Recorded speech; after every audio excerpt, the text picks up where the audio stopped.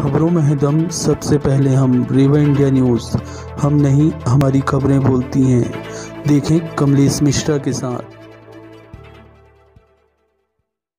तो नमस्कार दोस्तों, मैं हूँ कमलेश मिश्रा और आप मेरे साथ देख रहे हैं रेवा इंडिया न्यूज़ तो चलिए देखते हैं आज की यह खबर। तो फिर आज मंगलवार है जन सुनवाई ग्रामीणों की समस्या और हम खड़े हैं जन सुनवाई पे। ऐसा ही मामला है ग्राम पंचायत ढरका का और साथ में हमारे क्या नाम है आपका? दीपक जी, किस समस्या को लेके आए इतने सारे ग्रामीणों के साथ यहाँ का जो व्यवहार है, वो अवैध रूप से बाहरी।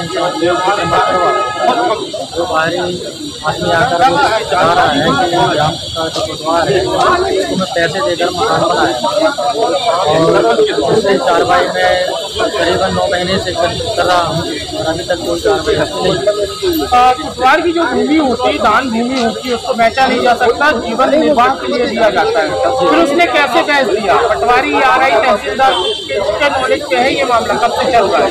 ये मामला करीबन नौ महीने से चल रहा है। अभी तक कोई कार्रवाई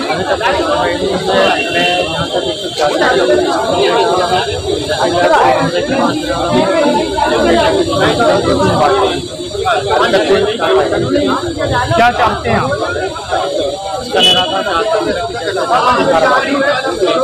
पढ़ने के लिए आप हमारी वेबसाइट पे भी जा सकते हैं। टाइप करिए www.revaindianews.in अगर आपको हमारी खबरें पसंद आए तो उसे लाइक और शेयर करना ना भूलें। तब तक के लिए जय हिंद